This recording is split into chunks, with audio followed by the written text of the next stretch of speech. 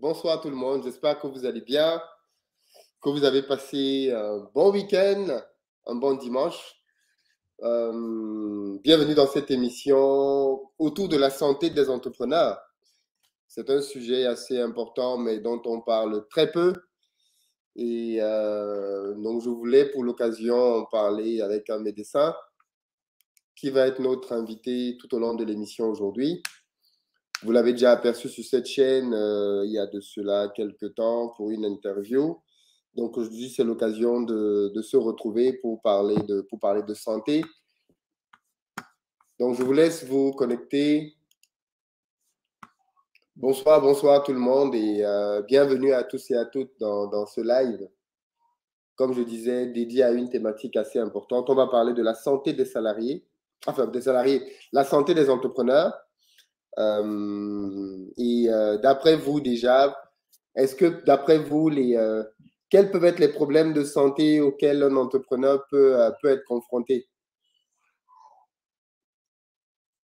Parce que quand on parle santé, je pense que les gens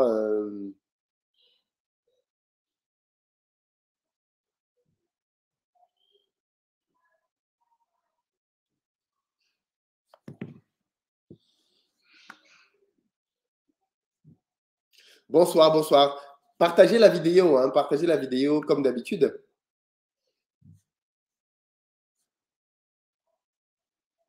Ah, l'anxiété. L'anxiété, ok. Euh, alors, vous suivez le live depuis quel pays? Ça fait toujours plaisir à savoir. Est-ce qu'il y a des gens du corps médical dans les, commentaires là? Donc, je vais introduire sans plus tarder notre invité le docteur Oriane Quinfac.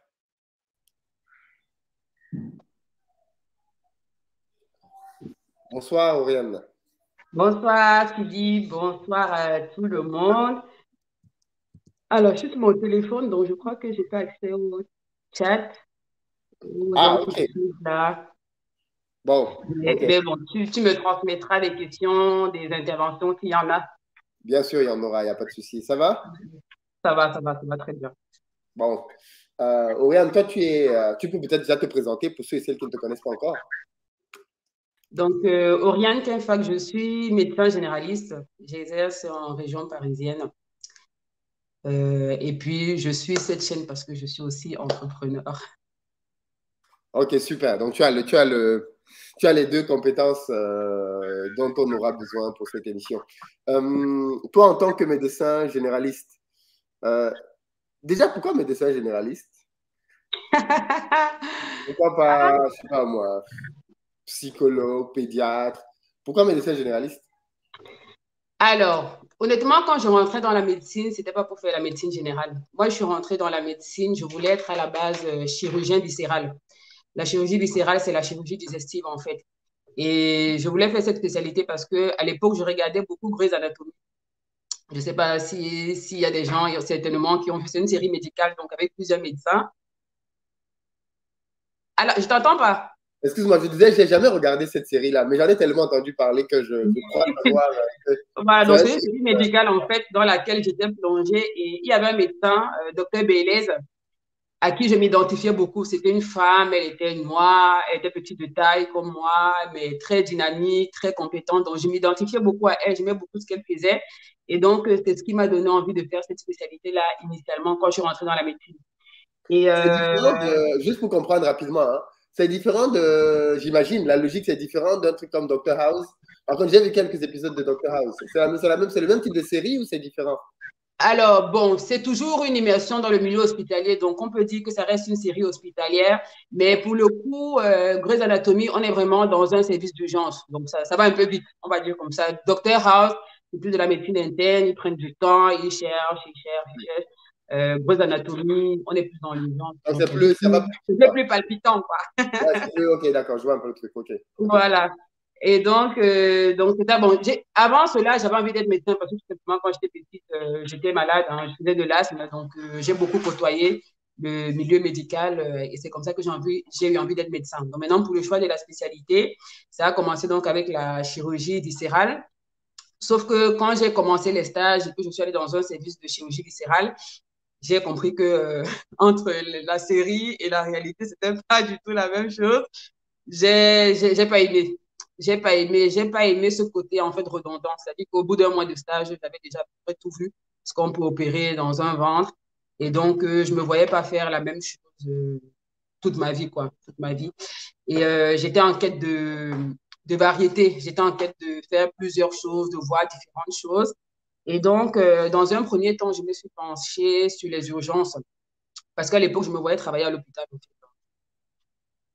Dans, dans, la majorité des cas, pour les, étudiants en médecine, comme pour le grand public même, le vrai médecin, c'est le médecin qui est à l'hôpital avec sa blouse blanche et tout ça. Donc, c'est comme ça que moi aussi, je voyais les choses. Et donc, la spécialité à l'hôpital qui m'offrait euh, cette variété de pathologies, là, c'était les urgences. Donc, j'ai fait les urgences, euh, stage que j'ai vraiment kiffé. Mais euh, il se trouve que euh, il y avait aussi un truc qui me manquait. Premièrement, il y avait un truc qui me manquait, c'était le contact vraiment avec les patients. Parce que aux urgences, tu vois les patients pour un motif, euh, ou c'est important, tu l'hospitalises, ou c'est pas important, tu le traites vite fait, il sort, il va voir son médecin généraliste, tu ne le revois plus. même si tu l'hospitalises, c'est une autre équipe qui va prendre en charge.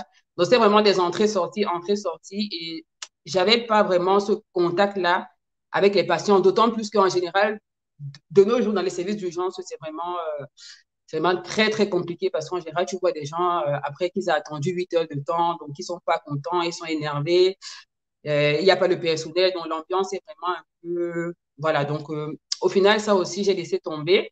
Et, et quand j'ai fait mon stage de médecine générale, parce que en fait, dans le cursus scolaire, à mon époque, parce que ça a changé maintenant, mais à mon époque, pour faire euh, urgentiste, il fallait d'abord faire un cursus de médecine générale, parce que les urgences, c'est la médecine générale, on fait tout, avant de faire maintenant un cursus euh, vraiment spécialisé, soins intensifs, etc.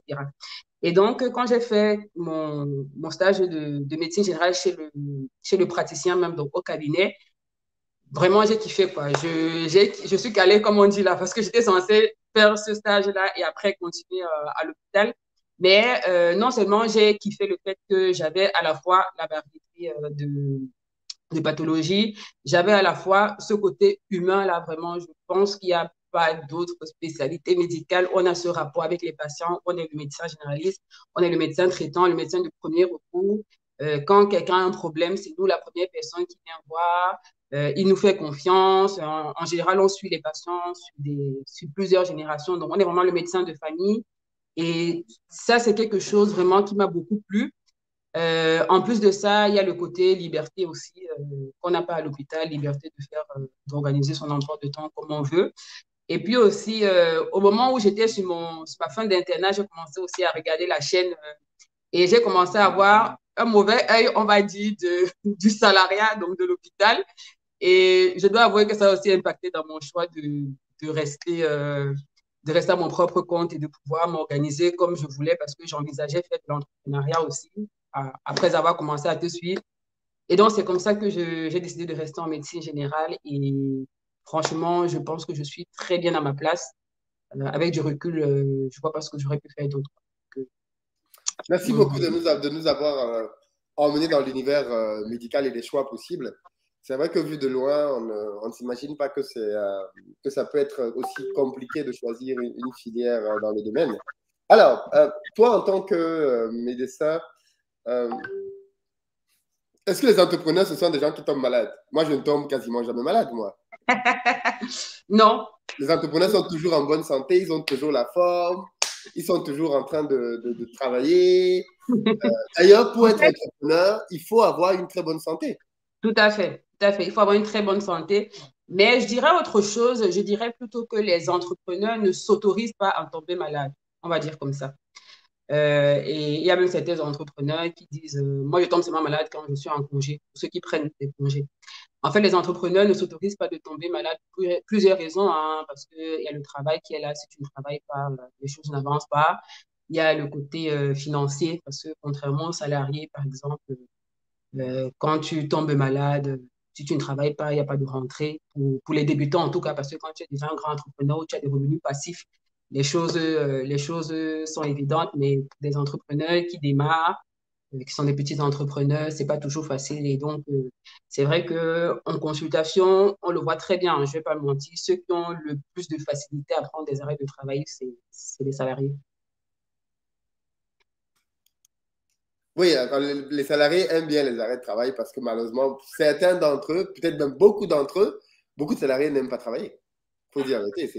Quand il y a une opportunité de s'arrêter de travailler, beaucoup de salariés te plongent dessus. Moi, moi j'ai vu des gens qui euh, se sont fait accumuler par leur médecin généraliste, arrêt sur arrêt, arrêt sur arrêt, pendant plus, pendant plus, plus d'un an.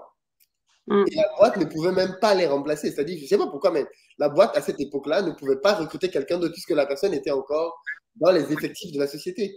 Mais lui, mm. il ne voulait plus travailler. Et en fait, il voulait forcer la main à la société pour que la société lui donne de l'argent, tu vois. Ah, il voulait donner cet argent. Donc, il a mm. dit, vous allez voir alors. Moi, j'ai fait de travail. Et comme les médecins, euh, chaque fois qu'il allait voir son médecin, non, je ne me sens pas bien psychologiquement. Ouais. Alors après, bon, il ne faut pas généraliser hein, parce que c'est là, comme tu dis, c'est là toute la difficulté de notre métier parce que il y a des gens qui sont réellement malades. Hein. Il y a des gens qui vraiment méritent l'arrêt de travail. Et je peux même te dire qu'il y a des patients souvent euh, à qui je propose des arrêts de travail et qui refusent. Hein. Honnêtement, il ne faut pas généraliser. Mais c'est vrai qu'il y a aussi beaucoup euh, où tu sens l'abus. Mais parfois, tu es un peu, tu es un peu dépassé. Tu ne sais pas quoi faire parce que quelqu'un qui vient te dire qu'il a mal au dos, c'est pas comme quelqu'un qui te dit qu'il a 17 de tension et puis tu lui prends la tension, tu vois qu'en fait c'est 12. Tu vois ce que je vais dire? Quelqu'un qui vient te dire qu'il a mal au dos, euh, c'est tellement subjectif que tu, as du mal à lui dire euh, non, vous n'avez pas mal au dos. Même si tu vois très bien, parce que moi, quand je reçois un patient, je suis très attentif à toi. Hein. De, la salle d'attente où je te prends à mon cabinet, parce que souvent, il y a des gens qui marchent très bien de la salle à, à cabinet. Et après, au cabinet, on commence à faire comme ça, là. Je sens le. Voilà, tu vois. Mais c'est pas toujours facile. Il y, a des, il y a des pathologies qui sont vraiment objectives, il y a des pathologies qui sont très subjectives. Euh, il y a des gens qui sont réellement malades, donc on ne peut pas partir sur une base que tous les, tous les salariés. Euh, non, bien sûr que non. Mais, mais, mais, mais, je, je, je, peux te dire que tu as raison et je peux te dire quelque chose qui va te faire rire, c'est que moi, bon, tu le sais, moi, je suis sur les réseaux sociaux, hein, donc il y a, il y a certaines personnes qui commencent à me connaître. Euh, et, euh, tu sais, entre noirs, entre nous noirs, ça va toujours bien, voilà, bonne ambiance et tout. Et j'ai souvent eu des personnes qui m'ont écrit par message sur mes réseaux sociaux, mon Instagram, pour me demander des arrêts de travail pour aller au pays. C'est-à-dire qu'ils m'écrivent euh, Bonjour doc, euh, parce que sur les réseaux sociaux, je suis bien évidemment, voilà, je ne suis pas dans, le, dans, dans la toge de médecin, je suis plutôt, je rigole, euh, j'essaie d'être simple pour que les messages passent simplement. Et donc, euh, il y a beaucoup de personnes qui se permettent vraiment n'importe quoi. Euh, il y a un monsieur, je me souviens très bien, qui m'avait envoyé un message, qui me dit clairement qu'il veut que je lui fasse un arrêt de deux semaines pour aller au pays, suivre ses, ses business. Il m'envoie sa carte vitale, il m'envoie son mail que je lui ah envoie. C'est comme si c'est comme si c'était il commandait un repas chez Uber, quoi. et, et, j'en ai eu d'autres comme ça, et j'avais même dû faire une vidéo euh, à un moment donné pour dire aux gens qui ne pas abuser. Les arrêts de travail, euh, c'est quelque chose qui engage notre responsabilité, c'est quelque chose pour lequel on peut être poursuivi. Il faut vraiment qu'on ait des éléments euh, qui justifient nos arrêts. Mais voilà, ça, c'est par exemple quelque chose que euh, un entrepreneur aura du mal à, s'arrêter sur un simple mal de dos, sauf s'il travaille vraiment physiquement sur, sur un chantier. Toi, par exemple, tu as dit tout à l'heure que les entrepreneurs ne s'autorisent pas à être malades. C'est une phrase, c'est une tournure de phrase qui m'a qui m'a qui m'a marqué. Euh, est-ce que les entrepreneurs se soucient de leur santé? Alors, il y a une chose ne pas s'autoriser à être malade parce qu'ils voient les conséquences. Mm-hmm. Est-ce que justement, ils se donnent les moyens de ne pas tomber malade? Alors, Ou alors c'est juste au courage? Alors, je ne peux pas complètement répondre à cette question parce que je n'ai pas trouvé euh, d'études euh, vraiment, quand je préparais ce direct, qui, euh, qui, dit si vraiment les, les, entrepreneurs. Je pense qu'en fait, dans la plupart des cas, les entrepreneurs se découvrent malades et souvent, malheureusement, quand, ils sont déjà très, très malades. Parce que justement, comme on l'a dit, ils n'écoutent pas leur corps, en fait. Ils, sont, sentent bien, ils, se sentent, ils sont très motivés par leur travail et donc, parfois, euh, ils ont des petits symptômes qui banalisent, en fait, euh, jusqu'à ce qu'à un moment donné, ça devienne, ça devienne vraiment préoccupant. En général, quand un entrepreneur va consulter, c'est quand vraiment il en peut plus. C'est vraiment... Et souvent, quand il consulte, même, il ne vient pas te demander ce qu'il a. Il vient te dire, docteur, vraiment, je vais vous voir parce que je veux que vous me donniez un truc qui va me booster. voilà, cette semaine-ci, cette semaine-ci, c'est un point qu'on va aborder tout à l'heure. j'ai reçu un monsieur qui est entrepreneur, qui lui fait en fait dans la, comment on appelle ça, les, les coachings sportifs là. Lui, c'est son, son truc. Il a énormément de, de, clients, et notamment depuis la crise Covid, parce que vous savez, la crise Covid, on a été confinés, on a pris du poids, etc. On, on cherche comment s'occuper. Et donc, euh, vraiment, il a eu une grosse affluence de, de, clients. C'est quelque chose qu'il aime beaucoup. Et il est venu me voir cette semaine même euh, en me disant, docteur, je viens vous voir parce que je veux que vous me donnez quelque chose. Je me sens un peu fatiguée, je veux que vous me donnez quelque chose va me booster. Et donc, euh, quand je l'interroge, la première chose que je demande, c'est pourquoi vous êtes fatigué? Donc, c'est là où il me raconte que c'est parce qu'il travaille beaucoup, il me raconte qu'il est entrepreneur, etc. Et donc, je lui pose des questions, on entre dans un interrogatoire, et au fur et à mesure que je lui pose des questions, il me sort d'autres symptômes, d'autres symptômes, d'autres symptômes. Et je me rends compte que c'est un monsieur qui est tout bonnement en train de plonger dans un burn-out. Donc, je lui dis, en fait, euh, monsieur, je vais, j'ai rien à vous proposer pour vous booster, si ce n'est de vous demander que d'arrêter de travailler tout simplement. Donc, euh, voilà, je dis ça pour te faire, voilà, pour, montrer qu'en fait, les, les, les, entrepreneurs, en fait, euh, voilà, ils, ne, réfléchissent pas comme un salarié. Un salarié, quand il a un, en tout cas, moi, quand j'étais salarié, le moindre souci que j'avais, ça, m'interpellait et, et, je, m'y je m'attardais dessus, tu vois. Mais euh, un entrepreneur, lui, il ne veut pas s'attarder dessus. Il a compris qu'il y a un problème, mais euh, il, continue d'abord, si ça ne va pas, il cherche la solution, mais il ne cherche pas trop tergiverser. En fait, il va, il va chez le médecin en sachant qu'il va sortir du médecin euh, avec la solution à son problème. Voilà. Je t'écoute pas. Mettez des likes et partagez l'émission. Hein. Mettez des likes et, partagez l'émission. Il y en a qui n'ont pas encore mis leur like et qui n'ont pas partagé. J'ai vécu une scène je ne sais pas si je vais dire traumatisante, parce que ça ne m'a pas traumatisé, mais surprenante cette nuit. Parce que moi, j'ai voyagé cette nuit, en fait. J'ai pris le. Euh, je revenais d'Abidjan cette nuit. Et dans le vol avec moi, enfin, on a, embarqué à 1h du matin. Donc, j'étais très fatigué, comme, comme je crois tout le monde. Euh, je n'avais qu'une idée, c'était entrer, boum, dormir. Et d'ailleurs, tu as des gens qui. Euh, et on, bref, donc, on entre dans l'avion et je ne fais pas vraiment gaffe à qui est. Moi, je viens, je viens dormir, je ne fais pas gaffe à qui est autour de moi. Donc, du coup, on entre et on s'assoit. Et euh, pendant même qu'on s'assoit, puisque du coup, on est entré dans l'avion en premier, puisque j'étais à l'avant de l'avion, on s'assoit et dès qu'on s'est assis, le temps même que l'avion se remplisse, moi, j'ai fait coucher mon siège et je me suis, je, endormi parce que j'étais vraiment fatigué. Euh, donc, du coup, l'avion s'est rempli progressivement il y a juste une, euh, une hôtesse qui est venue me réveiller pour me dire, monsieur, on va décoller. Donc, ça veut dire remettre en siège droit et assiette droit décollage. Donc, on s'assoit, je m'assois et on décolle. Là encore, je, je n'ai, c'est normal, je veux dire, c'est un vol classique, je ne fais attention à rien du tout autour de moi. On décolle et dès qu'on décolle, la dame vient me voir, monsieur, vous allez manger quelque chose. Je dis non, je ne vais pas du tout manger, euh, je vais dormir. Elle me dit, et le matin, vous allez prendre un petit déjeuner. Je lui ai dit non, pas de petit déjeuner, laissez-moi dormir. Euh, donc, le vol dure quand même 7 heures à peu près. Donc, du coup, je, je rentre dans, dans, ma couette et je m'endors. Enfin, j'essaie de m'endormir parce que j'ai vraiment du mal à dormir dans l'avion, bizarrement. J'essaie de m'endormir. Mais de base, j'ai un sommeil quand même léger. En général, je ne suis pas quelqu'un qui a un sommeil très profond. Euh, c'est très difficile que tu fasses du bruit un bruit inattendu autour de moi et que je ne me réveille pas quand je dors. C'est très difficile. Euh, même quand les enfants font du bruit dans la maison, j'entends. Donc, je, suis couché et j'entends un bruit. Et j'entends euh, une dame qui est en train de parler, mais dans une voix paniquée. Mais ce que je te dis là va se dérouler en quelques secondes. Hein. Je vais te le décrire maintenant. Mais elle dit euh, oui, euh, elle appelle quelqu'un, euh, viens, viens, viens, viens, viens, viens tout de suite, c'est très grave. Et j'entends une deuxième voix, une troisième voix. et donc, du coup, bon, elle me dit, il doit se passer quelque chose. Parce que tu vois, quand, quand tu es comme ça dans le noir, que tu, que tu, que tu, as, du, tu, as un sommeil léger, tout peut te réveiller, tu vois. Donc, si c'est pas un vrai truc, tu n'as pas envie de te réveiller. Donc, tu pourrais te dire, bon, si c'est un faux truc, ils vont gérer.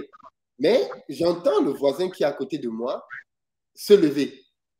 Et là, bon, je me dis, bon, allez, euh, je vais soulever pour voir ce qui se passe. ce qui se passe. Donc, je soulève le truc et là, je vois mon voisin arrêter quelqu'un.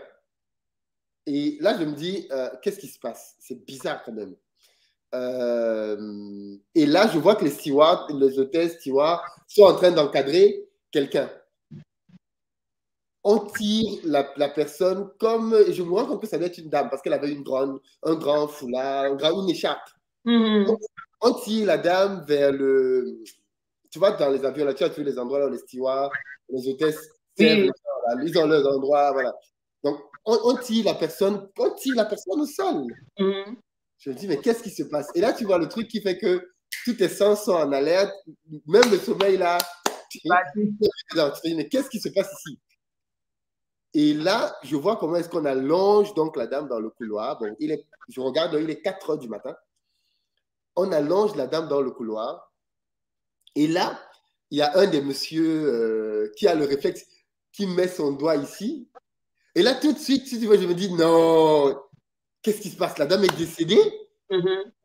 Et il y a une autre dame qui commence à, la tapoter là. Mais rien, la dame ne réagit pas, rien. Là, je suis choqué, quoi. Je me dis, mais qu'est-ce qui se passe? Euh, Et tu, te sens aussi impuissant, parce que je ne connais rien la... Je ne peux mm-hmm. rien faire du tout. Et les trois quarts de la cabine, pour ne pas dire les quatre cinquièmes de la cabine, dorment. Personne n'a entendu ce qui s'est passé là. Euh, donc, on en train d'essayer de, la ramener. Et mon voisin, donc, qui était là-bas la déposer, il revient vers moi pour prendre euh, un de ses vêtements, parce qu'il avait juste sa chemise. Donc là, comme il faisait un peu frais dans l'avion, il prend donc maintenant un de ses pulls. Et donc, je profite pour l'interpeller, pour lui dire, gars, qu'est-ce qui se passe?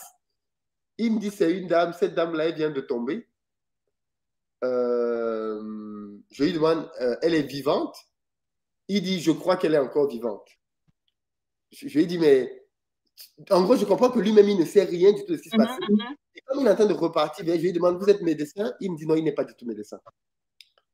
Ça fait déjà peut-être cinq minutes. Hein. Ils sont toujours en train de taper la dame. Rien du tout.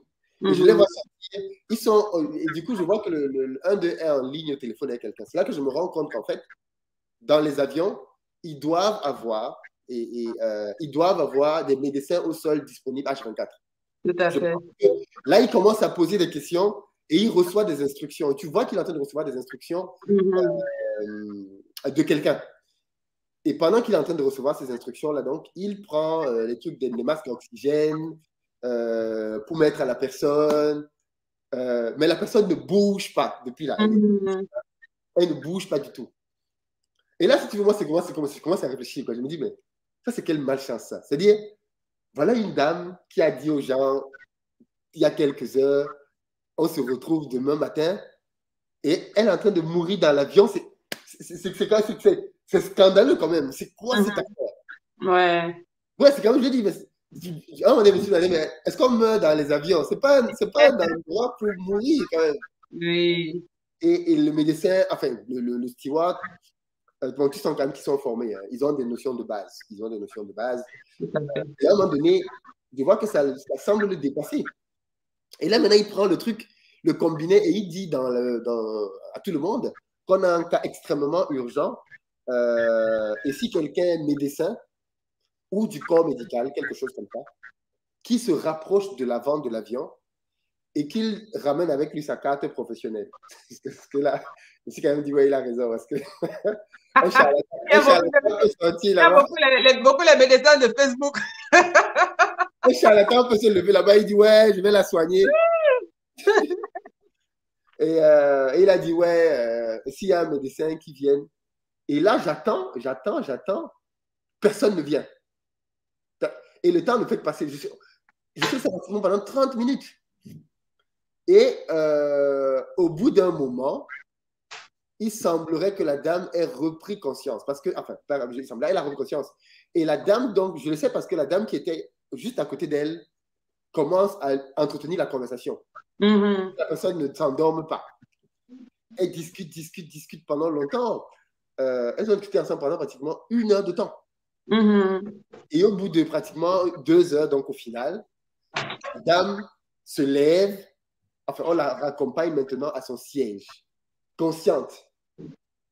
Et c'est après que je me rends compte qu'en fait, la dame était en train de voyager avec son fils. Waouh. Waouh, comme tu dis. Son fils de 15-16 ans était là. Je ne sais pas si quand ça s'est passé, il dormait. Parce que c'est le matin que je l'ai vu. Je ne sais pas mhm. s'il a vu la scène ou s'il dormait pendant la scène. Mais, et la dame, c'est une dame d'affaires. Tu vois, c'est une dame qui allait, elle allait en Italie faire des affaires. Et je me suis dit, waouh.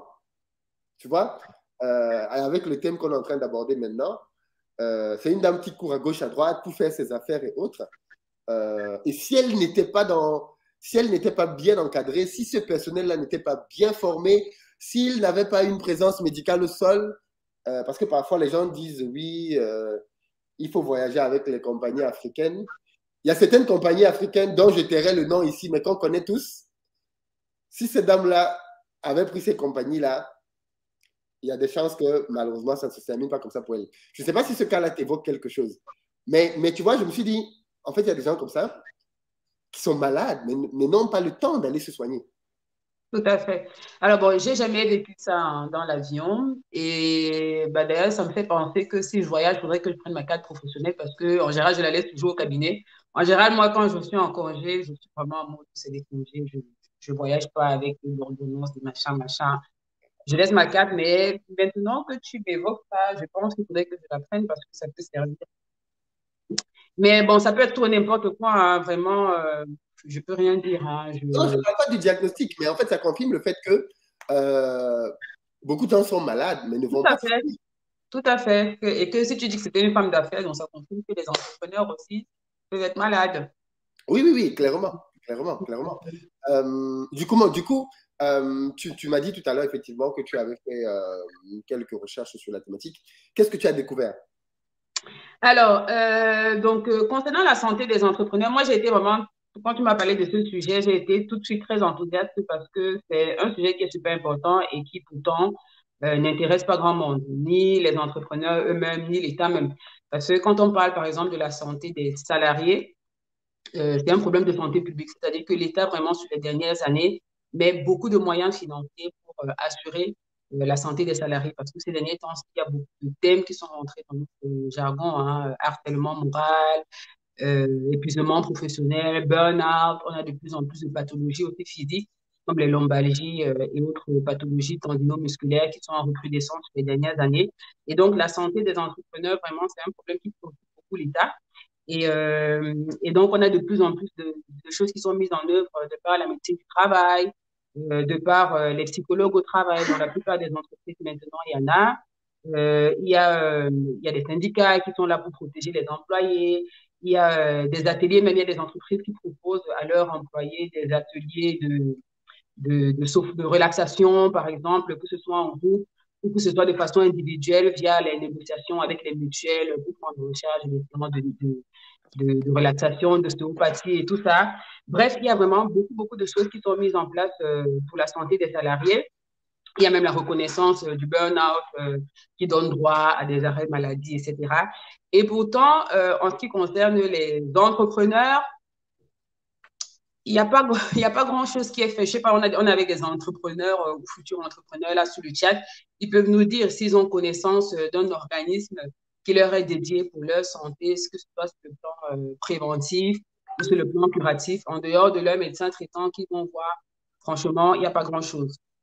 Et pourtant, pourtant, même quand tu regardes les études, hein, moi j'ai regardé un peu des études avant ce direct, il y a très peu d'études qui sont faites sur le sujet. Et pourtant, le peu d'études qui ont été faites euh, montrent quand même des, chiffres qui sont très alarmants. Et je vais partager avec vous deux études euh, euh, que j'ai recensées. Il y a une étude française qui a été faite en 2019 et il y a une étude canadienne. Donc, je vais vous partager quelques chiffres. On va commencer par l'étude française. Donc ça, c'est un sondage qui a été fait en 2019 euh, important parce que c'est juste avant la crise Covid, donc on est vraiment sur des chiffres-là qui ne sont pas biaisés parce qu'on sait qu'avec la crise Covid, euh, vous pouvez majorer ces chiffres-là plus, plus, plus. Mais déjà avant la crise Covid, donc, euh, étude française, elle s'est faite sur 1500 entrepreneurs. Donc, c'est un sondage qu'on a réalisé auprès de 1500 entrepreneurs. Et il y a cinq chiffres qui m'ont intéressé. Premier chiffre, c'est que 70% des entrepreneurs se sentent stressés au quotidien. Donc, il y a quelqu'un tout à l'heure dans le chat, euh, quand tu as posé la question euh, des pathologies des entrepreneurs qui a parlé d'anxiété. Donc là, on y est clairement. 70% des personnes, il y en a d'autres qui décrivaient même le stress comme un compagnon d'entrepreneuriat. Et donc, alors, je ne sais pas si vous voulez que je vous rappelle les, effets néfastes du stress sur l'organisme, hein. les maux de tête, euh, ulcère d'estomac, hypertension, euh, eczéma, les crises d'eczéma, de psoriasis, euh, les douleurs musculaires, les cancers, etc. vous voyez, en dehors du cancer, c'est des symptômes qu'on a, qu'on peut avoir au quotidien, un mot de tête, mal d'estomac, qui n'en a jamais eu. Parfois, c'est des symptômes qu'on banalise complètement et qui pourtant peuvent être source de stress. Donc, 70% des entrepreneurs se, sentent stressés, c'est beaucoup et c'est dangereux quand on sait les effets du stress sur l'organisme. Et bon, c'est un chiffre qui n'est pas étonnant hein, parce que les sources du stress, en fait, sont, multiples. Hein. Quand, on, quand on voit les entrepreneurs, il y a par exemple une surcharge de travail. En général, quand on est entrepreneur, on ne compte pas ses heures de travail. Moi, euh, récemment, euh, quand on était en vacances, on est parti dans un, dans un autre pays et on a logé une semaine chez un ami, un ami à nous qui est entrepreneur. Mais mon mari et moi, on était choqués de son rythme de vie. On s'est demandé, mais comment est-ce que ce gars tient debout? Parce que, en fait, tu t'imagines, on allait se coucher à 22 heures. On le laissait là, il était en train de travailler sur son ordinateur. Moi, je me réveille à 7 heures le matin. Je le trouve là sur son ordinateur, sachant que mon mari, à 2 heures du matin, s'est levé pour aller faire pipi et il a trouvé là. Et quand je lui demande, mais est-ce que tu as dormi? Il me dit que oui, oui, il a dormi. Donc, en gros, il avait dormi entre 2h et 7h du matin. Donc, euh, allez, grand max, il avait dormi 5 heures de temps. Et ça, c'est vraiment grand max parce que je sais, à 2 h il était debout. Je ne sais pas si c'est couché à 3 h ou à 4 h mais très souvent, je suis sûre que beaucoup de personnes vont se reconnaître euh, dans cette histoire. En général, les entrepreneurs, vraiment, ils ne comptent pas leurs heures de travail. Donc, il y a une surcharge de travail euh, qui peut engendrer le stress. Il y a aussi le stress lié au deadline parfois le stress lié au perfectionnisme. On a envie d'être perfectionniste, on veut que les choses se passent bien, on veut satisfaire à tout prix le client pour pas qu'il aille chez la concurrence, par exemple, parce qu'aujourd'hui, il y a beaucoup de concurrence. Donc ça, c'est une source de stress. Il y a le stress lié au manque de trésorerie aussi, ça c'est un peu souvent le, le nez de la guerre. Il y a le stress lié à l'incertitude aussi, parce que souvent tu as une petite voix qui te dit euh, Oh, bah, laisse, ça sert à rien ce que tu fais là, ça va pas marcher, tout ça. Donc, tu es toujours un peu dans l'incertitude. Ça, ça engendre le stress. Il y a le stress lié au manque d'organisation. Il y a beaucoup d'entrepreneurs qui, qui sont mal organisés, qui, euh, au lieu de faire une tâche en trois heures de temps, en, en 30 minutes, par exemple, euh, font la tâche en, en, toute une journée et du coup, ça les stresse parce qu'ils prennent du retard sur quelque chose. Bref, on voit très bien que les sources de, de stress sont très nombreuses et malgré tout ça, comme on le disait tout à l'heure, il y a beaucoup d'entrepreneurs qui ne s'autorisent même pas de congé, qui ne s'autorisent pas de, de, tomber malade. Et je trouve que c'est quelque chose qui est très dangereux. Donc ça, c'était le premier chiffre que je voulais partager avec vous. S'il y a des questions, tu me dis, hein, je, peux, répondre en même temps. Le deuxième chiffre que je voulais partager, c'est 40% des entrepreneurs interrogés ont déclaré avoir du mal à concilier leur vie personnelle avec leur vie professionnelle. Ce qui est bien dommage parce que la vie, en, réalité, c'est bien un équilibre des deux. Et pourtant, c'est vrai qu'on connaît tous des entrepreneurs qui ont très bien réussi dans les affaires, tu en as souvent parlé sur cette chaîne, mais qui ont laissé à l'hôtel du sacrifice leur femme euh, ou leur, euh, leur conjoint. Il y a des divorces qui ont été célèbres. Euh, et pourtant, la, vie, c'est un équilibre entre les deux. Et si tu n'arrives pas à gérer ta vie ta vie privée et ta vie, perso et ta vie professionnelle, je trouve que c'est un peu problématique. Euh, troisième chiffre que je voulais partager, c'est que 30% des entrepreneurs déclarent avoir des problèmes de sommeil, du mal à dormir. je ne sais pas si, c'est ce dont tu parlais tout à l'heure, tu parlais de sommeil léger et tout ça. Bref, en tout cas, 30%, 30 des employeurs ont déclaré avoir un sommeil qui ne les satisfait pas. C'est-à-dire qu'ils ont déclaré vraiment soit ils n'arrivent pas à dormir, soit ils ont des sommeils qui ne sont pas réparateurs, etc. Et pourtant, outre euh, l'aspect euh, sur la santé, l'aspect physique qu'on connaît du sommeil, le sommeil est très important pour l'entrepreneur parce que le sommeil te rend beaucoup plus productif. Le, soleil, le sommeil pardon, te rend beaucoup plus attentif, beaucoup plus créatif parce qu'un entrepreneur, on le sait, c'est quelqu'un qui, qui doit être créatif pour apporter du nouveau, pour être compétitif, etc. Euh, le sommeil euh, apporte de la mémoire, de la motivation, euh, améliore la mémoire, etc. quand on a un entrepreneur qui ne dort pas, c'est pas de bon augure pour ses, affaires. un autre chiffre encore plus inquiétant, Justement, tu as une question sur le sommeil. Est-ce que, est-ce que déjà, est-ce qu'il y a une recommandation en termes de nombre de sommeil à avoir? Est-ce que c'est bien de dormir moins de 5 heures par nuit? Quelles peuvent être les conséquences à long terme d'une absence de, sommeil? Alors, les recommandations sur le plan euh, purement scientifique, pour un adulte, c'est des recommandations moyennes. Hein. J'ai lu plusieurs études dessus. Moi, j'ai fait ma thèse sur le sommeil, donc euh, je, je m'y connais. Les recommandations, c'est entre 7 et 9 heures par adulte. Ça, c'est des recommandations théoriques. Sauf que, en général, je ne parle pas de ça parce que c'est des études, pour la plupart, qui ont été faites dans la population générale. Or, on sait très bien que dans la population générale, il y a moins d'entrepreneurs de, salariés ou de personnes qui ne travaillent pas. Donc, dans tous les cas, toutes les études s'accordent quand même à dire que euh, ces chiffres-là sont adaptables, mais qu'il faut que chacun respecte son sommeil. Chacun doit surtout respecter son sommeil. Je pense honnêtement que moins de 5 heures de temps, ce n'est pas suffisant. Pour un entrepreneur, pour ce qu'il a comme euh, charge physique et mentale, quand on sait comment l'entrepreneur travaille, je trouve qu'un entrepreneur, c'est quelqu'un qui doit avoir beaucoup plus de sommeil que quelqu'un qui est salarié. Et donc, pour moi, euh, moins de 5 heures de temps, ce n'est pas suffisant. Et à long terme, à long terme les effets euh, du manque de sommeil, bah, c'est comme c'est tout ce que j'ai dit. Hein. déjà, tu es fatigué. Tu es fatigué. Même si tu as l'impression de ne pas être fatigué, ton organisme, à un moment donné, il va te réclamer. Parce que l'organisme est programmé. Hein. L'organisme est programmé pour travailler un certain temps, se reposer un certain temps. Donc, si tu n'as pas une, un bon sommeil, bah, à un moment donné, tu vas être fatigué à un moment donné, tu seras plus susceptible aux infections. Des études ont montré qu'un manque de sommeil, ça, ça diminue l'immunité et même la réponse au vaccin pour attaquer certaines personnes qui sont anti-vaccins. Euh, le manque de sommeil euh, diminue euh, les réponses au vaccin. le manque de sommeil est à l'origine de certaines pathologies métaboliques, hein, prise de poids, etc. Grosso modo, sur le point de vue santé, c'est très, très, très, très mauvais de ne pas respecter vraiment son, son, son rythme de sommeil c'est important. Moins de 5 heures, à mon humble avis, euh, même si ce n'est pas ce que disent euh, les études scientifiques qui préconisent, enfin, si, c'est même ce qu'ils disent aussi, parce qu'entre 7 heures et 9 heures, ils disent dans la population générale. Donc, moi, je pense qu'on peut toujours adapter. On sait que, voilà, l'entrepreneur, il, travaille beaucoup.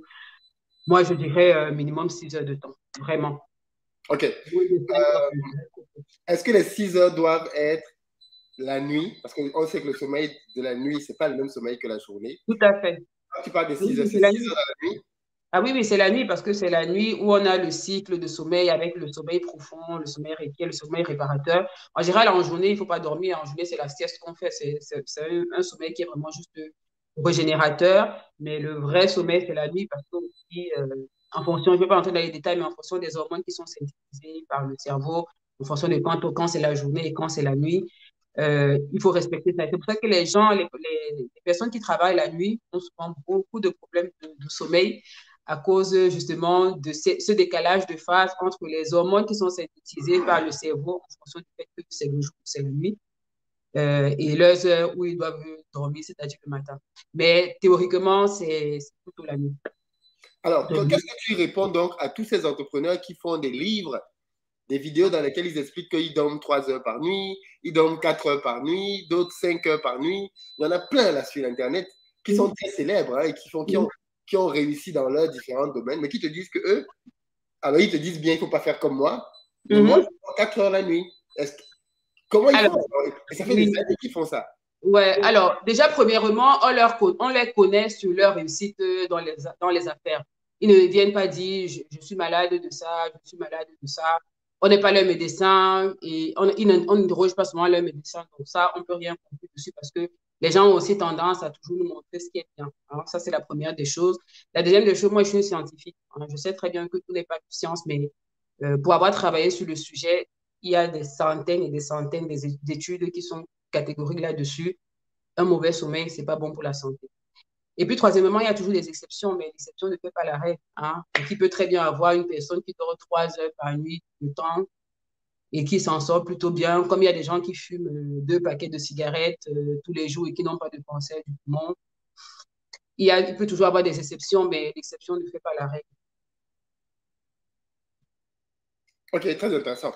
Donc, toi, l'un des endroits où on peut se rendre compte des, euh, les difficultés déjà, c'est au niveau du sommeil. Le sommeil, c'est euh, déjà un gros, euh, un, gros indicateur. Ok, alors moi, je tiens à préciser que j'ai fait des vidéos ici, là, pour parler, pas contre le sommeil, parce que certaines personnes l'ont compris comme ça, mais euh, pour dire, il y a des gens qui dorment trop. C'est-à-dire que il y a des gens qui, qui aiment le sommeil. C'est-à-dire que si tu, si tu coupes son sommeil, vous allez être fâché. Vous allez avoir, mm.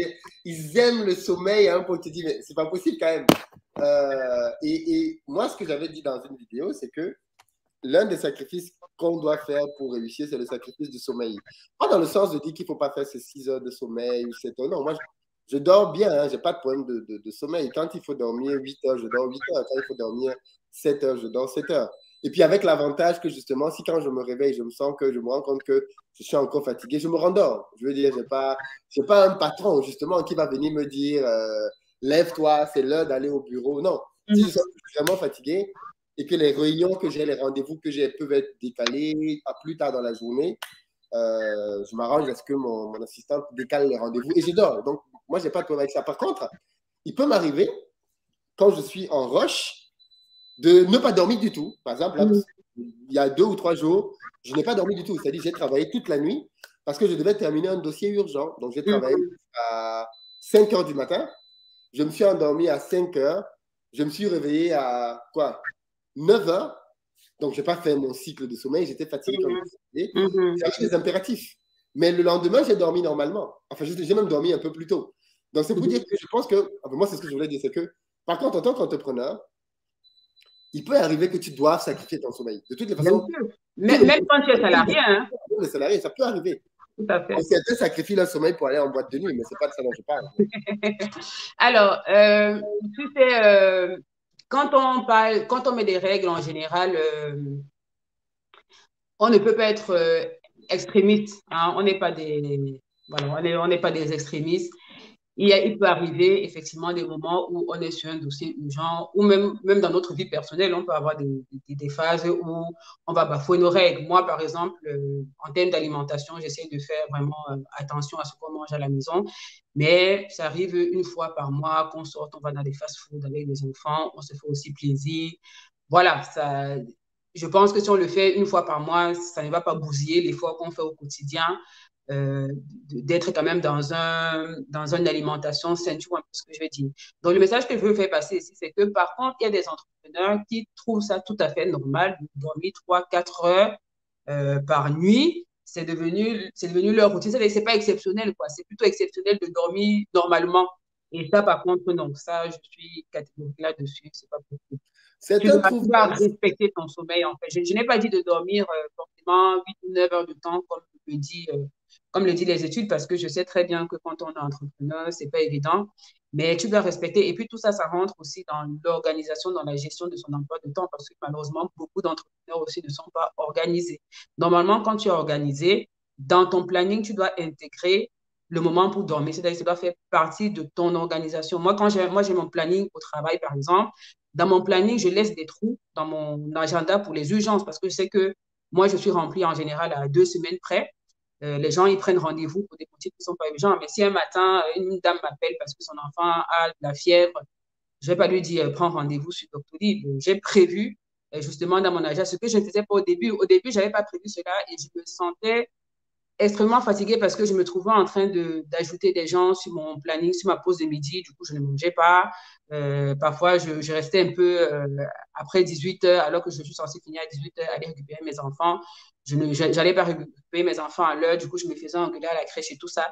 Et donc, j'ai compris que je ne pouvais pas continuer comme ça et qu'il fallait donc que j'intègre dans mon planning des trous pour ces créneaux-là. Donc, c'est ça qu'on appelle l'organisation. Et donc, un entrepreneur, à mon avis de médecin, doit pouvoir intégrer dans son agenda parce qu'un entrepreneur doit avoir euh, un minimum de, voilà, d'agenda, même s'il est débordé. Il doit prévoir euh, un moment pour le sommeil et je dirais même mieux un peu plus tard parce que dans les recommandations, je conseille aussi euh, des petits moments liés, des petits moments liés à la, aux médecines alternatives, tout ce qui est sophrologie, hypnothérapie. C'est des choses qui font énormément de bien, vraiment. Et donc, en étant entrepreneur, je, je, l'ai dit, hein, moi-même, je suis entrepreneur, donc tout ce dont je parle là, et c'est pour ça que ça m'a vraiment intéressé parce qu'il y a beaucoup de choses par lesquelles moi-même je suis passée et pour lesquelles j'ai trouvé des solutions et je pense qu'ils peuvent être adaptées à, beaucoup d'entrepreneurs. Donc, voilà. Ok, d'accord, très bien. Euh, donc, il y a, y a, il y a ce, ce, problème de, de, gestion, donc du stress qui entraîne le, les, les, complications qu'on peut avoir. Mais le stress, à la limite, certains te diront que le stress, c'est une bonne chose, que c'est quand ils se sentent sous pression qu'ils superforment et qu'ils ont besoin de ça pour, euh, pour, pour réussir. Alors, c'est pareil, c'est ce qu'on dit depuis en fait. Un petit moment de stress euh, de temps en temps, ça va forcément arriver. De toute façon, le stress, on ne le, on peut pas le bloquer. En fait, le, la source de stress arrive et ce qui va nous différencier, c'est la façon dont on gère ce stress. Tout le monde est soumis au stress dans la vie, hein, que ce soit dans les entreprises ou dans le côté professionnel. Mais ce qui différencie les gens, justement, c'est la façon dont ils gèrent ce stress-là. Et donc, je pense justement que quand tu es bien organisé, tu ne dois pas être sous stress 24 heures sur 24. Moi, je pense que quand tu es bien organisé, tu ne dois pas être sous stress 24 heures sur 24. Oui, effectivement. Si tu 24 heures sur 24, ça veut dire que tu n'es pas bien organisé. Oui, non, non, c'est sûr, c'est sûr. Vivre en permanence sous le, sous le stress. De toute façon, c'est le sort de truc aussi qui qu'on paye sur le long terme. Là, sur place, à l'instant, tout semble aller, mais je pense qu'avec le temps, les, les, gens voient bien les répercussions sur leur, sur leur santé de, de ces Ah oui, on le paye toujours. Franchement, le, la majorité des gens, en tout cas, le, le payent à un moment donné. Alors, qu'est-ce que tu dirais aux entrepreneurs qui, euh, OK, ils dorment bien, mais ils n'ont pas le temps pour autre chose que le travail? C'est-à-dire que tu sais qu'on dit que quand tu viens de créer ta boîte, les cinq premières années, euh, tu n'as, voilà, c'est infernal parce que mm-hmm. tu vas mettre ta boîte sur pied et puis tu fais tout au début. Mm-hmm. Donc, tu n'as pas le temps d'autre chose. Qu'est-ce que tu veux dire qu'est-ce que, tu, qu'est-ce que tu penses de cette phase-là pendant laquelle justement les entrepreneurs se privent un peu de, peut-être de, leur euh, sommeil, mais surtout de, de, tout ce qui va être relations sociales. C'est-à-dire que les entrepreneurs sont souvent coupés. Les soirées, les, les, moments de, de, vacances, non, ils sont plus là-dedans. Est-ce que ça, c'est dangereux aussi ou alors c'est au choix? Alors, autant pour le sommeil, euh, je suis catégorique dessus, il faut dormir. Autant pour les relations sociales, moi, je pense que tout dépend de l'équilibre de chacun. On n'a pas les mêmes objectifs dans la vie. Il y a des gens, même sans être entrepreneurs, ils n'ont pas de relations sociales, ils ne sortent jamais. Moi, je connais des gens comme ça. Donc, moi, je pense que tout dépend de l'équilibre de chacun. Je ne vais pas venir dire aux gens, non, il ne faut pas travailler, il faut plutôt aller au resto si ça ne les dérange pas, tant qu'ils sont à l'aise avec euh, ce qu'ils font, c'est tant mieux pour eux. Hein. C'est tant mieux pour eux. Je n'ai pas, de, pas de conseils à donner sur ce plan-là. Ok, d'accord. Moi, personnellement, si tu veux mon avis, en ce qui me concerne, moi, je suis entrepreneur, je travaille énormément, mais il me faut mes moments de, de fiesta. Moi, je suis, moi, j'aime la fête, moi, j'aime sortir, j'aime faire des choses avec mon mari, j'aime faire des choses avec mes enfants. Et donc, j'ai réussi à intégrer tout ça dans mon projet euh, de travail, qui est un travail déjà euh, pénible, et d'entrepreneuriat aussi. Moi, je pense que vraiment, tout dépend de...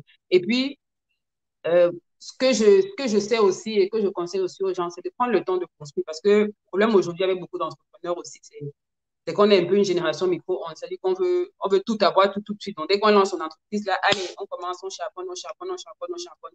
Moi, vraiment, je me sens pas sous pression. Personne ne m'a envoyé dans l'entrepreneuriat. Je, je, suis responsable de mon entrepreneuriat. Ça marche, ça marche, ça échoue. Bon, j'aurais essayé, je vais recommencer. Je construis petit à petit, je ne suis pas pressée, tu vois. Et j'essaye, je te dis des choses là a posteriori, hein, parce que comme je t'ai dit, moi, je suis tombée dans certains trucs euh, qui m'ont qui amené à, me poser un peu et à me dire qu'en fait, au final, tout ça, on fait ça pourquoi Si c'est pour euh, être malade, pour ne pouvoir euh, même jouer avec ses enfants parce qu'on est tellement épuisé. Au final, on fait tout ça pourquoi Pourquoi est-ce qu'on cherche l'argent si c'est pas pour profiter avec nos enfants? Donc, de par mon expérience personnelle, je me suis dit maintenant, tu vois, ça, c'est quand même surprenant. Eh, dans l'esprit des gens, les médecins, c'est quand même des gens qui n'ont pas besoin d'argent. Les médecins font partie, je pense, dans à peu près tous les pays, les vrais pays, pas, pas ce qu'on voit en Afrique, hein. mais dans tous les pays qui se respectent, les médecins font partie des personnes les mieux payées dans, dans, dans, tous les pays. Donc, dans l'imaginaire collectif, moi, moi j'ai été très choqué hein, quand j'ai découvert que des médecins en Afrique pouvaient toucher euh, officiellement euh, au Cameroun. Tu sais combien touche un médecin quand. 130 000, non, je crois, dans la fonction. 130 000 francs, ça fait Ouais, ouais, 200 euros. Ouais, ouais, ouais. Non, laissons le Cameroun. Le Cameroun, laissons le Cameroun. C'est extrêmement choqué. Extrêmement. Ah, moi, j'ai des, amis, des amis médecins au Cameroun. Hein, donc, euh, je peux te dire que quand on discute, moi, avec eux, je ne parle pas de chiffres parce que je ne veux pas les. Je veux pas mais c'est juste inimaginable. C'est à pleurer, euh, Philippe. Vraiment, c'est. Et, et, s'il te plaît, il faut voir comment il travaille, il faut voir les conditions dans lesquelles il travaille, il faut voir comment, euh, faut voir les, les guerres de pouvoir qu'il y a à l'hôpital. Quand on, quand on voit en fait comment on prend en charge les patients et qu'on sait, parce que je suis médecin et que je pose avec des collègues et que je sais comment est-ce qu'il euh, fonctionne, comment est-ce que le système fonctionne, quelque part, j'ai envie de dire, honnêtement, ce n'est pas le débat, hein, mais quelque part, j'ai envie de dire que même si je n'explique pas ça, je les comprends. Parce que les, médecins euh, sont, sont, sont, les martyrisés de la société au pays. Quelqu'un te dit qu'il fait une garde de 24 heures, il est payé 2000 francs, c'est pas. Une garde de 24 heures, tu vas à 8 heures, tu reviens à 8 heures le lendemain, 2000 francs, c'est pas. Je, je veux même pas. Euros.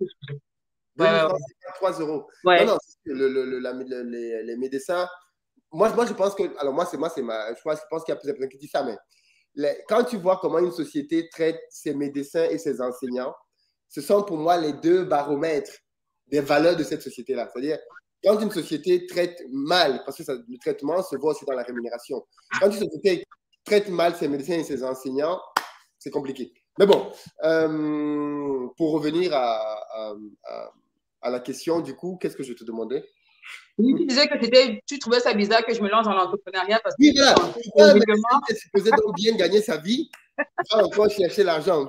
Les médecins sont supposés déjà gagner beaucoup d'argent dans, dans l'imaginaire. Philippe, est-ce qu'on se rassasie de l'argent? Toi-même, là où tu es là, je ne vois pas ton carreau. Pourquoi tu continues les, les affaires? Mais moi, je ne suis pas médecin, moi. non, non, on ne, on ne se rassasie pas de l'argent. Et puis, euh, ça a un côté, moi je trouve l'entrepreneuriat a un côté excitant et un côté. Euh, moi j'ai envie aussi, quand j'entreprends, je me dis, j'ai envie de me dire que j'ai fait quelque chose. j'ai envie de me dire que j'ai pu aussi euh, avoir une idée euh, et j'ai pu la concrétiser. Il y a, un besoin d'accomplissement. Il y a un besoin d'accomplissement aussi, outre l'aspect économique, bien évidemment, on ne va pas se le cacher, mais non, non, moi, j'estime que je ne gagne pas très bien ma vie. Hein. J'estime que je n'ai même pas encore commencé à bien gagner ma vie. Donc, euh, je vais continuer à te suivre et à continuer à être motivé euh, dans l'entrepreneuriat. OK. Du coup, en tant qu'entrepreneur, par exemple, toi, quand, quand tu te lances dans l'entrepreneuriat, c'est pour faire des choses qui sont dans la logique de ton corps de métier et de compétences ou tu vas vraiment te lancer dans d'autres choses? Je fais dans tout. Je fais euh, aussi dans l'entrepreneuriat par rapport à mon métier avec, par exemple, euh, mes activités sur les réseaux sociaux, mais j'ai aussi d'autres euh, entreprises, je n'ai pas envie d'en parler ici, mais je fais aussi dans d'autres domaines. C'est très bien, c'est très très bien. Ok, d'accord, c'est très bien. Médecin et, entrepreneur, c'est atypique. Ok. Est-ce qu'il y a un point qu'on n'a pas abordé dans tes notes? Oui, alors, euh, pour terminer sur les chiffres, franchement, j'aimerais qu'on y revienne rapidement parce que c'est important. Euh, dans les chiffres que j'ai cités, il y a un dernier chiffre que je voulais citer qui est important, c'est le burn-out. Tu peux revenir, tu peux nous rappeler les deux premiers chiffres avant de voir le dernier chiffre. Hein. Oui, voilà. Donc, il y avait 70% euh, des, des, entrepreneurs interrogés qui se sentaient stressés. Il y avait 40% qui disaient avoir du mal à concilier vie professionnelle et vie personnelle. Il y avait 30% de problèmes de sommeil et il y a 17% de burn-out. Et je voulais insister dessus parce que le burn-out, en fait, c'est un, peu, un peu le mal du siècle. Hein. Nous, médecins, le burn-out, c'est comme le cancer. Très clairement, c'est une maladie qui est grave et qu'on ne voit pas venir. Vraiment comme le cancer. Parce que, euh, en général, les, les gens qui se retrouvent même en burn-out, que ce soit les entrepreneurs comme les salariés, hein, c'est des gens qui ne, voient, qui ne voient pas venir le burn-out, en fait, et qui ne s'en rendent même pas compte encore plus quand ils sont entrepreneurs, parce qu'en général, ils font quelque chose qu'ils aiment bien. Ils font euh, quelque chose qui les passionne. Il n'y a personne qui est là derrière eux pour, leur dire euh, fais ci, fais ça. C'est vraiment quelque chose qu'ils aiment bien. Et donc, ils ne voient pas euh, le mal venir. Et pourtant, le burn-out, c'est quelque chose de vraiment très grave. Quand je parle de burn-out, c'est quoi le burn-out? J'ai l'impression c'est la maladie des blancs, c'est la maladie des personnes fragiles, c'est la maladie des personnes fragiles. C'est quoi le burn-out? Alors, le burn-out, en fait, c'est un état d'épuisement physique et moral aussi. physique, c'est-à-dire que c'est les patients vraiment qui se sentent vidés. C'est-à-dire qu'ils ils, utilisent eux-mêmes les, termes, hein, ils, sont vidés, ils sont fatigués 24 heures sur 24, c'est-à-dire. Fatigués tout le temps, en fait, c'est ça. Fatigués tout le temps, mais c'est pas tout. Ils n'arrivent pas à dormir. Je ne sais pas si tu as été extrêmement fatigué au point où tu n'arrives pas à dormir. C'est quelque chose que je ne souhaite pas parce que c'est très pénible. Donc, ils ont des problèmes de sommeil. Même quand ils arrivent à dormir, ils se réveillent le matin déjà fatigués, déjà avec des maux de tête parce que psychologiquement, euh, mentalement aussi, ils ont instauré une machine qui tourne 24 fois dans leur tête. Ils sont tout le temps en train de, de penser à ci, de penser à ça. Et donc, ils sont vraiment épuisés. Et en général, ils ont aussi d'autres symptômes. Hein. C'est des symptômes typiquement, on va faire tous les bilans qui existent, tous les bilans de la Terre, on va rien trouver. Et donc, quand on, questionne, quand on les questionne un peu sur leurs habitudes de vie, on leur fait remplir certains questionnaires, un questionnaire euh, euh, de burn-out, euh, questionnaire de masselage qu'on fait remplir aux gens quand on a une suspicion de burn-out. Et donc, un auto-questionnaire, en fait, les gens y remplissent oui ou non. Et à travers ce questionnaire-là, on peut on peut signer que vraiment c'est un burn-out. Et c'est vraiment, ce n'est pas un surménage. Hein. On peut être surmené vite fait, mais les gens qui tombent dans le burn-out, c'est des gens, en fait, euh, pour lesquels on fait des arrêts qui vont aller de plusieurs mois à plusieurs années même. Hein. C'est vraiment des gens qui, même quand ils prennent un peu de repos, pour peu qu'ils sont un peu replongés dans leur environnement, il y a tous les symptômes qui reviennent. Donc, euh, je ne sais pas si vous arrivez à percevoir la chose. Peut-être, c'est difficile à comprendre quand on n'est pas dans le burn-out. C'est pour ça qu'il y a aussi des, questionnaires euh, scientifiques qui ont été validés pour évaluer ça, parce que c'est quelque chose de très subjectif. Mais c'est des patients vraiment qui, au cabinet, pleurent. C'est des patients qui ne sont vraiment pas bien du tout. Et, et, quand on en arrive là, vraiment, quand on est dans ce tunnel-là, c'est grave et il faut vraiment, il n'y a, a, pas de médicaments pour ça. La seule chose à faire, c'est de s'arrêter. Donc, c'est des gens qu'on arrête euh, très facilement. Voilà. Et donc, qu'est-ce qu'il faut pour le burn-out? Le repos, il faut quoi? Alors, pour soigner, c'est le repos, tout simplement. C'est des gens, on les arrête, on leur demande de sortir de leur environnement de travail, on leur conseille de partir, de, voilà, de, penser à autre chose euh, pendant plusieurs mois. C'est vraiment que le repos. Alors, après, après, on les aide aussi avec un peu de psychothérapie, avec un peu de sophrologie, relaxation. On les conseille des petites techniques comme ça qui peuvent les aider à, voilà, à, lâcher la pression, lâcher prise, lâcher la charge mentale. Ça qui est très problématique.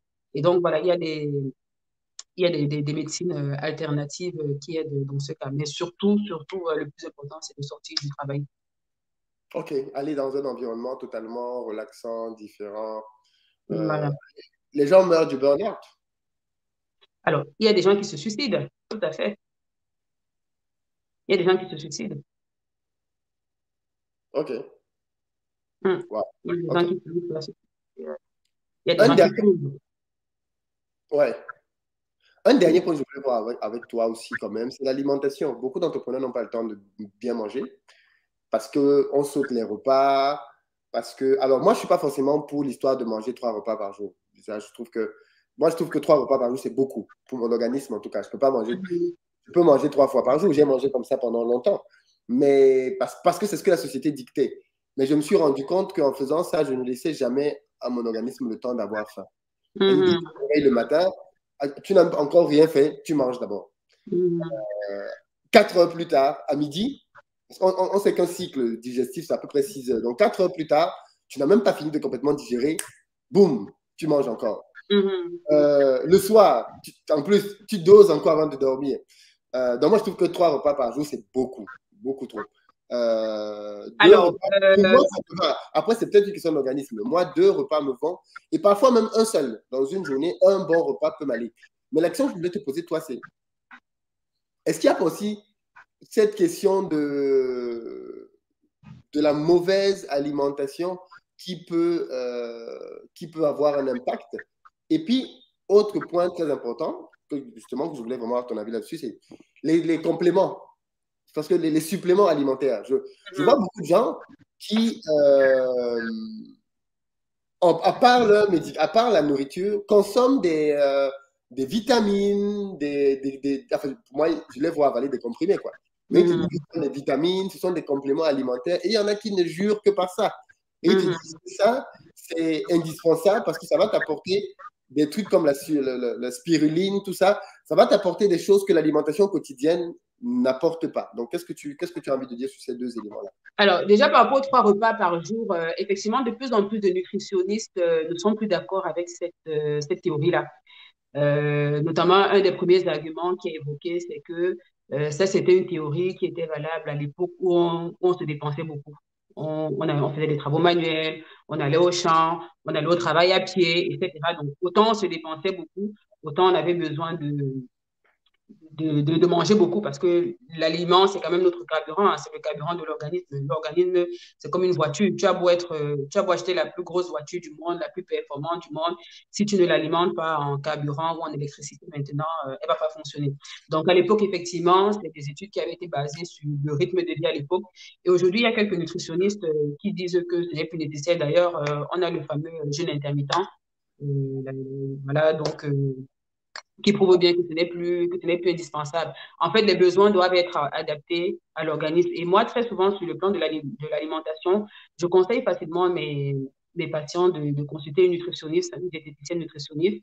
Et j'ai d'ailleurs prévu sur ma chaîne euh, au mois de décembre faire un live avec une, une diététicienne nutritionniste spécialisation de nos alimentations tropicales parce que parfois l'alimentation est à adapter, comme je le disais, euh, à notre rythme de vie. Hein, quelqu'un qui travaille euh, par exemple de nuit, euh, ou qui travaillent, euh, enfin, en fonction des horaires, on ne peut pas manger de la même façon. Donc, moi, je pense que l'alimentation est toujours adaptée. Mais je pense quand même que l'alimentation, c'est quelque chose à prendre au sérieux. C'est comme je disais, l'aliment, euh, c'est notre carburant. première des choses. Deuxièmement, bien évidemment, la malbouffe, c'est à éviter au maximum hein, parce qu'effectivement, beaucoup d'entrepreneurs n'ont pas le temps de manger. Et souvent, pour certains, ils ne mangent pas du tout. Pour d'autres, c'est les fast-food parce qu'il n'y a pas le temps de préparer. Et j'ai souvent tendance à dire que ceux qui font ça, en fait, qui se, se tout le temps de fast-food, c'est des gens qui, qui s'épuisent à travailler l'argent qu'ils vont dépenser demain pour se soigner. Parce qu'en en, mangeant tous ces fast-food-là, en fait, ils ne vont pas passer à côté euh, des, maladies euh, pathologiques cardiovasculaires, pathologies chroniques, etc. Donc, euh, je suis bien évidemment contre la malbouffe quand ça devient une habitude de temps en temps, oui, pourquoi pas, mais quand ça devient une habitude, voilà. Et euh, par rapport aux compléments alimentaires, personnellement, j'en prends pas. Les compléments alimentaires, comme le nom l'indique, euh, est censé apporter un complément à l'alimentation. Et en fait, en théorie, quand tu manges bien, quand tu as un repas qui est bien équilibré, euh, tu as tout dans l'alimentation. Tu as tout ce dont tu as besoin dans ton alimentation. Et donc, si tu manges bien, si tu respectes bien tes besoins, tu n'as pas besoin de compléments alimentaires. Et les compléments alimentaires, en fait, si tu en prends alors que tu n'en as pas besoin, ne rien. Parce que tout ce qu'on absorbe comme nutriments, euh, l'excès va être pour une partie stocké pour les réserves et pour une partie éliminée via notamment les excréments. Donc, ceux qui euh, se goinfrent de compléments alimentaires, si effectivement ils ont des carences, euh, ça va les aider. Si effectivement ils ne mangent pas, ça va les aider. mais quand même, c'est les compléments alimentaires, ce n'est pas des bonbons non plus. Hein. Ça reste, même si on dit que c'est naturel, machin, compagnie, ça reste des médicaments et tout médicament euh, a des effets positifs attendus et des effets euh, indésirables potentiels. Donc, je ne vois pas pourquoi prendre le risque d'aller prendre ces compléments-là alors qu'on a tout ce dont on a besoin dans l'alimentation, combien variée, surtout nous en Afrique. Euh, on, on, a une alimentation tellement variée, on peut manger une chose différente par jour pendant trois mois. Donc, Justement, il y a des gens qui disent que les Africains doivent revenir à notre alimentation originelle. Apparemment, euh, beaucoup d'Africains ont du mal avec du blé parce qu'en Europe, on en consomme beaucoup. Euh, je ne sais pas si tu as déjà eu ce, type de, réflexion-là, mais pour, certains, les Africains devraient. J'ai fait une interview avec le, chef Anto, justement, qui est un chef de cuisine, qui expliquait dans l'interview que malheureusement, euh, enfin, elle, comme beaucoup de personnes, quand elle est arrivée en France, elle a commencé à manger beaucoup de blé pendant un certain nombre d'années. Ça, lui a, ça a commencé à lui causer des problèmes de santé. Quand elle a consulté un médecin, il lui a posé des questions sur ses habitudes alimentaires. Et il s'est rendu compte qu'en fait, elle ne mangeait plus les choses qu'elle mangeait quand elle était au pays. Et donc, il lui a demandé de, de faire, je crois une semaine ou un mois, je ne sais plus, en ne mangeant que ce qu'elle mangeait avant au pays. Et elle dit que depuis qu'elle a fait ça, elle n'a plus jamais eu de problème de transit, ce genre de choses. Mm que apparemment, beaucoup de personnes africaines ont des problèmes de santé en Europe parce que l'organisme ne se n'accepte pas la nouvelle alimentation à laquelle euh, euh, mhm. auquel il est soumis. Je ne sais pas ce que tu en penses. Alors, en toute honnêteté, j'en sais rien. Hein. C'est son domaine, donc certainement qu'elle dit la vérité. Il faudrait interroger des nutritionnistes pour ça. Moi, je ne vois pas des gens qui me consultent pour des problèmes d'ordre diététique, donc euh, j'ai pas d'idée dessus. Mais euh, il y a personne, on n'a pas dit qu'il ne faudrait pas consommer l'alimentation du pays, hein. bien, au contraire. Hein. Le, le, tout, c'est de savoir adapter, en fait, comme je disais. Vraiment, si on parle par exemple des proportions, quand je vois comment c'est comment nos papas au pays, tu m'étonnes qu'ils ont toutes des beaux ventres, franchement. Moi, je pense que le, le problème, c'est pas que notre alimentation est mauvaise, mais en fait, notre alimentation est très calorique, faut le dire.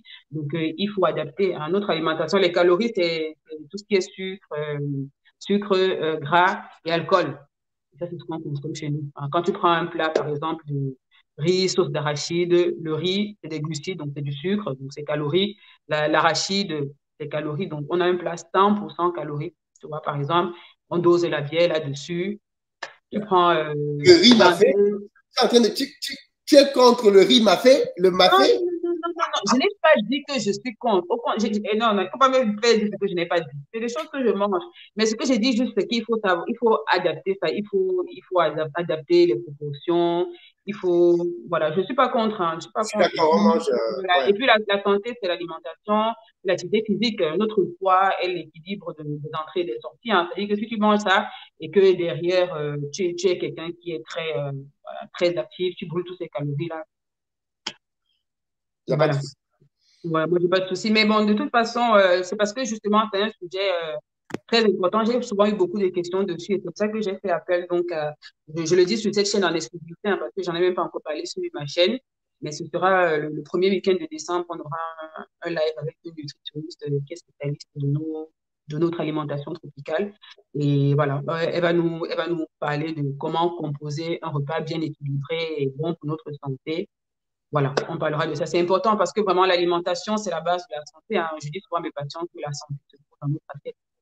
C'est très important à considérer. Comment on fait pour te suivre, euh, docteur Ariane, pour ceux qui voudraient euh, bénéficier alors, de conseils Alors, donc, moi, déjà, j'ai une chaîne YouTube qui s'appelle À votre santé, donc, euh, sur laquelle je, je publie une fois par semaine euh, des vidéos euh, pour faire de la prévention à la santé. Je parle d'un sujet médical en fait à chaque fois.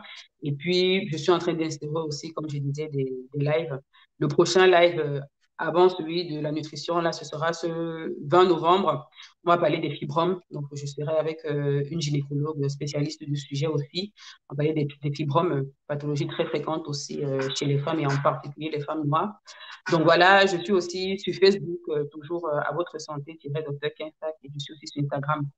Donc, à chaque fois, j'ai des, des, des, contenus un peu, un peu différents selon ce que propose la plateforme comme.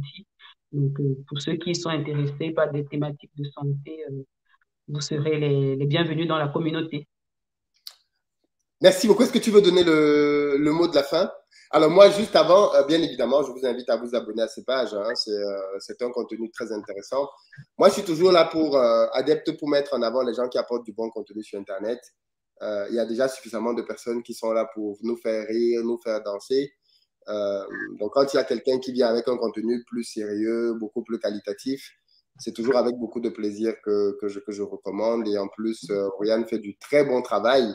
Donc, n'hésitez pas à aller, euh, aller vous abonner sur ses pages, à suivre, à faire grandir aussi la communauté de ce côté-là. Et on a besoin de. Et c'est bien, en plus, elle est médecin, donc elle a l'autorité qu'il faut pour parler de ces sujets-là. Et c'est très bien.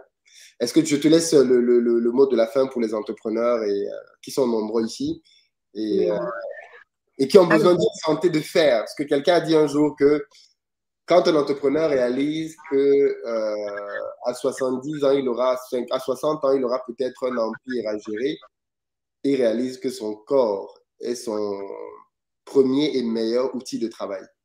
Tout à fait, tout à fait. Euh, le mot de la fin que je peux dire, c'est que, au vu de tout ce qu'on a dit là, hein, c'est que ta passion, ton entreprise euh, peut t'amener très loin dans le bon sens, comme elle peut aussi t'amener très loin dans le mauvais sens. Donc, c'est vraiment important de considérer sa santé. Euh, je n'ai pas donné tous les chiffres, mais, mais il y a aussi des chiffres qui comparent la santé mentale des entrepreneurs versus la santé mentale dans les autres populations. Et à chaque fois, euh, les pathologies mentales sont toujours plus fréquentes dans la population des entrepreneurs. Donc, c'est pour dire que la santé, c'est vraiment quelque chose à considérer quand on est entrepreneur. Il ne faut pas négliger sa santé sous prétexte qu'on est jeune, parce qu'en général, on, commence à entreprendre, on est jeune, on a une santé de fer, etc.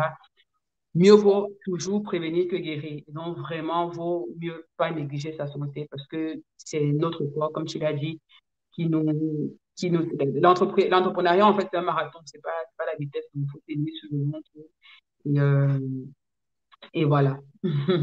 Merci beaucoup, Ryan. Juste après toi, là, je vais lancer un autre live qui va lui être beaucoup plus ouvert au public. Et on va parler des entrepreneurs et la fête. Voilà, parce que je reviens d'Abidjan là et, euh, et j'ai vu beaucoup de fêtes là-bas, beaucoup, beaucoup de fêtes. Moi aussi, j'ai été à Abidjan et ce sont des bons putain.